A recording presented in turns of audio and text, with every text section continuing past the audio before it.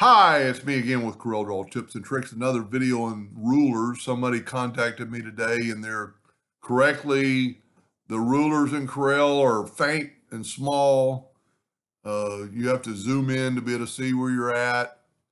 Uh, I can't find anything to do about it. If you right click on the rulers, you can set up different ruler setup.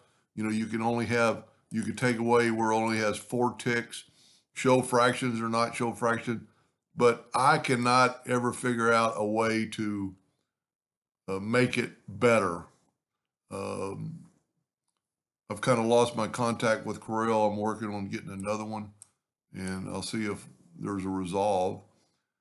One thing that you know you can do if you want this box, you know, eight inches from the corner, if you'll set your object origin on on the left side and change your nudge factor eight inches, you can nudge it over and that is eight inches. You don't have to worry about it. You can see it right there. Or if it's here and you want to know what it is, it's right there.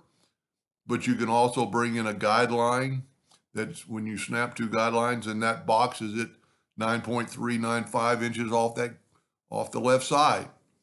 Other than that, until I feel it, you know, get it figured out anyway else, I don't know any other way about it.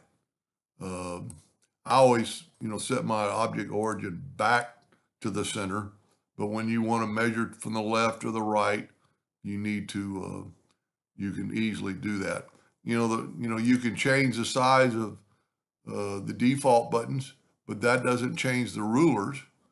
It just changes your icon. So you right click right there, you can customize. I like keeping mine on small because uh, I can still see everything. But other than that, I don't really have an answer. Hope that helped a little bit. Thank you for watching.